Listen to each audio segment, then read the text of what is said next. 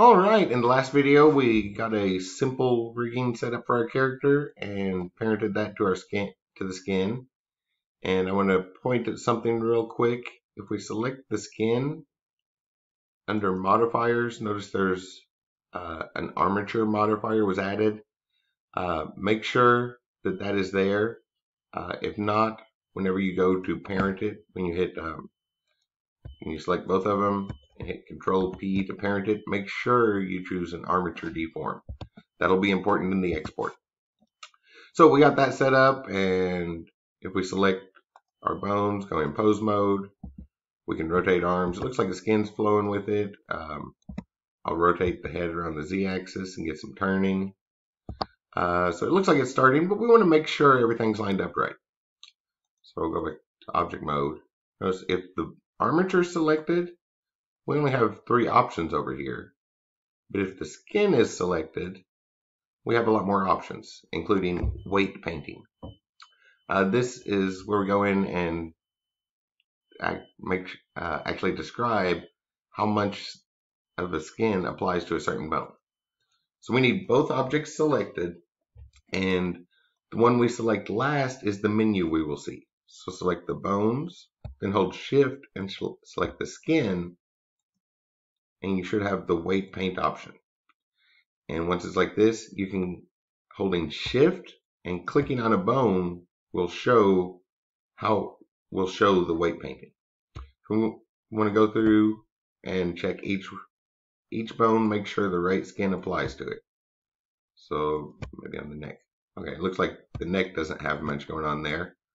So I'm going to turn the radius down here, something kind of small to work be able to get in the spots. And the weight, uh, if it's one, we're, we'll add to it. And to take it away, we'll turn, you can turn the weight all the way down to zero and then it's like an eraser.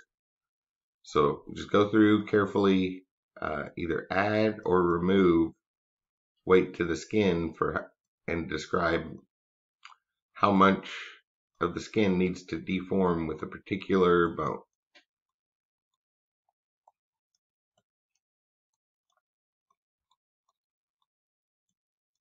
There we go. Looks like the that'll deform the neck good. And sometimes odd little things will show up, but you just want to go through bone by bone and make sure that bone seems to apply to the right position of skin. And the automatic weighting does pretty good on on the 3D models, not so much on the 2D models, so it should be a good start. Uh, looks like that got the, the whole hand. Probably don't need that stretching up the forearm. So I'll see if I can erase some of that up there. Eh, it's not really going to hurt anything. And just go through and make the little adjustments until it seems like the right skin is being affected by that. Holding shift to click a bone. Backbone looks like it gets most of the torso. Um, the upper back could probably do a little more. I should be moving the shoulders and maybe the chest area a little. There we, there we go. And just slowly adjust it. So I'm going to pause the video while I go through and make the adjustments and just slowly and carefully at this step until you feel like that's the right skin to be for that bone to affect for every single bone. Okay, so that came out pretty good. Uh, I didn't have a whole lot of adjustments to make. Whoops. You want to watch out for stuff like that. The right foot was collected, selected and accidentally clicked over here. And definitely don't want, well, I said that backwards. Definitely don't want the right foot moving with the bone of the left foot. So watch out for things like that. But um, just kind of go through and check every bone the automatic weighting did pretty good on mine.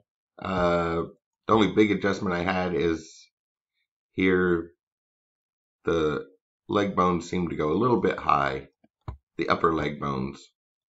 So I cleared some of that out. The upper leg bones kind of went halfway up the back. And just, yeah, make sure that the right bone is moving the right skin. And once you get that set up, take your time, be careful with that. Uh, to feel very confident that it's all moving the correct spot. Take this away, some of this away.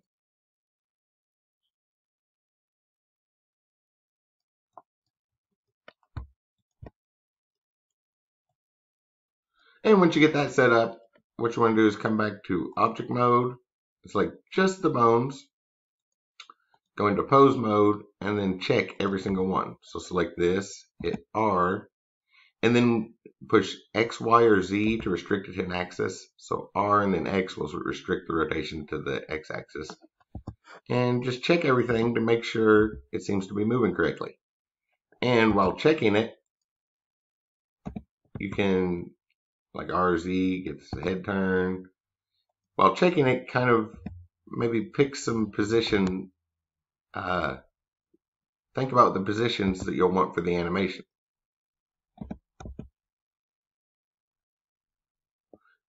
And give everything a thorough check. And so I think I'll go ahead and check that. There's no need to watch me check every single bone on, on here. Just make sure it rotates correctly and then we'll be back to set up the animations in, well, a split second after the video editing's done. Okay, so I finished the check, and one thing that you want to make sure and do, I'll rotate this arm somewhere, is uh, hit A to select all the bones, and then pushing Alt R will reset all the rotations.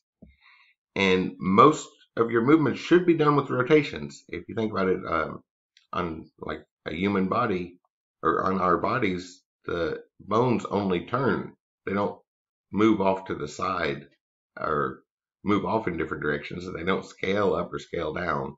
So everything should be done with rotations. Uh, Alt G also clears any other movements, but remember Alt R to clear the rotations. And come back to object mode. I'll do it here. Go ahead and save it. And after all that checking is done, we can come over to the animation tab and set up our animation. Kind of zoom in on the viewport over here, which has the bones uh, set up ready to be moved, already set to pose mode, and we have a preview here without the a preview here of what it's going to look like. And then down here is our dope sheet. That's where we put animations together, so you can kind of see the timeline. And to specify more than one, some different parts uh, different animations to apply, you'll select Action Editor, create a new action, and give it a name. So I'll call this idle. And I'm just going to do 20 frame animations for the example here. So make sure you put the start and end point to 20. So for idling, I think I'll start and end in the rest position. So I'm going to put the mouse up here in the viewport because the buttons do different things depending on where your mouse is. So with the mouse in the viewport, push A to select everything, then Alt R just to confirm everything's rotated. And to insert a keyframe, push I and insert one for location, rotation, and scaling on all the bones. So now they're kind of locked in place. And if you want to clear a keyframe, you can push Alt I. So Alt I, and you can delete a key. Oh. Uh, and be able to delete a keyframe. I'm not sure why that didn't, um, why that was giving me that message, but Alt I is the de delete the keyframes. And then a 20 frame animation, I want that to be smooth, so I'm going to go one frame further, and on frame 21, I'll insert a keyframe that matches everything. So that way at 1 and 21 is the same, but I'm going to reset the loop at 20 so that it starts over one frame before our starting point. And I think I'll stick another one in the middle. Uh, whoops, select everything, hit I and set the keyframes for back to the resting point. So this is the idle animation. So I want the character to basically just stand there and breathe when nothing's going on. So these middle points here, like I guess about frame five or six, uh, it might feel a little more natural if it's not exactly split up. So I'm going to go instead close to the middle, but not exactly the middle. Whoops. Uh, oh yeah, that's right. So I want this bone. Oh, not that. That's the neck bone. The upper backbone. I'm going to take that and rotate it just a little. If I hit rotate right here, the mouse is really close to it. If we bring the mouse away from it and push R, we have a, a longer arc sweep. So to breathe in, I'm just going to have the character bend that bone backwards so that the chest swells up. The head turns up a little like he's breathing in. And I'll kind of maybe swing the arms backwards a little while that happens. Rotate X. Rotate X. And just kind of straighten up the arms. So now if we go back to the beginning, oh, whoops.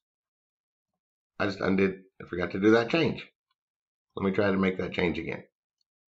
Have to save the changes after we make them. So select that bone, R, bend it back just a little so it looks like the character's kind of breathing in. Then I'll swing the arms down a little. Same thing on this side, R on the x-axis rotate on the x-axis. And now hit A to select everything and insert a keyframe for location, insert a keyframe for rotation, insert a keyframe for scaling. If we go back to the beginning and play with those motions saved now, you can see there at the beginning, it kind of looks like that player's breathing in a little. Oh, the arm went a little far, far. So I'm going to go back to frame six and push uh, Alt I to clear this keyframe. So now those keyframes are gone from frame 6. And I don't want this one moving back so far. So I'm going to bring that back just a little. Select everything and insert a keyframe again. And give that another test run. Going back to the beginning, hit run, and you can see that first part looks like the character's breathing in. And we're already up to 12 minutes. So I'm going to do the same thing in the second half here and then put a walk animation together. And we'll talk about that at the end to try to keep this in one video. But it's essentially the same thing we did for 2D, just for a 3D. Just move the legs to the correct position for a walk. So here's that idle animation. Just kind of looks like the character's breathing, swinging his arms a little, waiting to do something. So when we stop moving, this is the animation that will play. Uh, and I'll put a walk animation together uh, very quickly here to try to keep this under 15 minutes and just point at it at the end. But the same process, just set the keyframes, move the bone, or move the bones, set a keyframe, uh, give it a check. If it didn't work out, undo it or clear the keyframes and try again until it looks like you want it to. Oh, one very important part though, make sure you close this animation or close this action before doing the other one. So make sure that's closed and then hit new. Otherwise you will make a child of that action. And we want two separate actions, not a child of the action. Uh, so I'll be back in just a second with this thrown together and we'll look at the result of it. Okay, so I only have about a minute left before to stick under the 15 minute limit, but I did this with three keyframes. So here's the walk animation, and on frame one, I move the left leg forward, bent the knee, turn the foot up, the left arm goes back, and the wait, I said that backwards. The right leg forward, left uh, right foot up, and right arm back, and then the left leg goes back a little, and the foot bends down, and the left arm bends forward. Set that for frame 1 and 21, and then right in between, I did the opposite position, uh, right and left leg. So that way it alternates back and forth and just swings the leg forward and the arms kind of go with it. Uh, so hopefully you can see what I did there, get a little trial and error, just three keyframes. Uh, one leg comes forward and make sure the foot turns up when it does while the other leg goes backwards. And that's about the 15 minute limit. So I'll see you in the next video to export these.